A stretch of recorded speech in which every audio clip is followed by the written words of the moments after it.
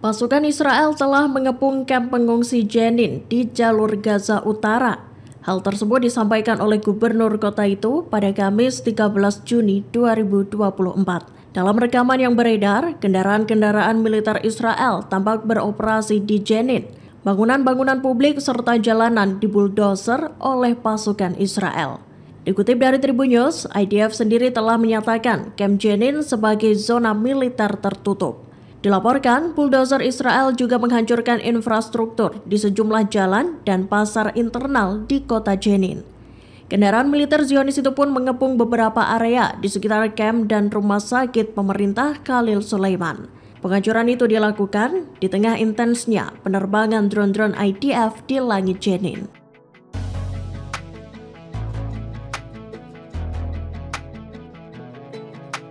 Download Tribun X sekarang menghadirkan lokal menjadi Indonesia.